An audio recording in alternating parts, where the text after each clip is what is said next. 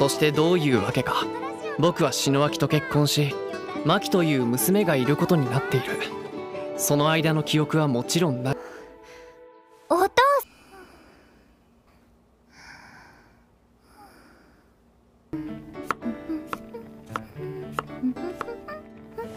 あここだ。お野菜もちゃんと食べなさい。可愛い奥さんがいて娘も授かり仕事も順調おとみのりあやかさん？有名なイラストレーターなんだけど知らない？うんごめんね。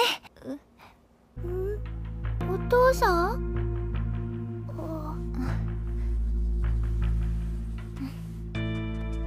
何にも描きたいものがなくなっちゃったからね。あの昭島志乃が絵を描くことをやめた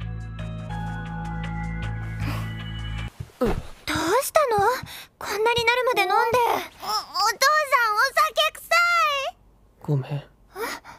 ごめんね。篠木いいよ。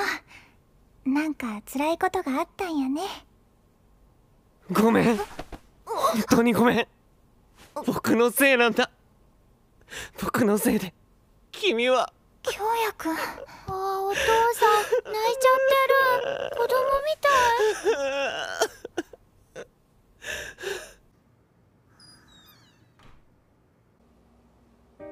もう京也くんの中では吹っ切ってくれたんやと思っとった。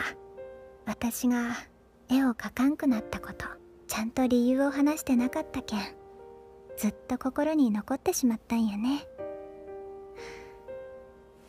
春空が売れて貫之くんがおらんようになってもでも途中から自分が絵を描いとるのかわからんくなったんよ。絵を描くのがだんだん楽しくなくなってきてた。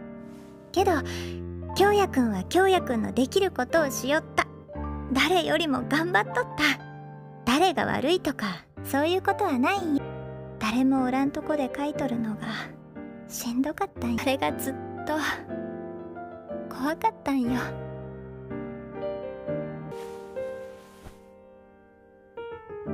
もういいよ。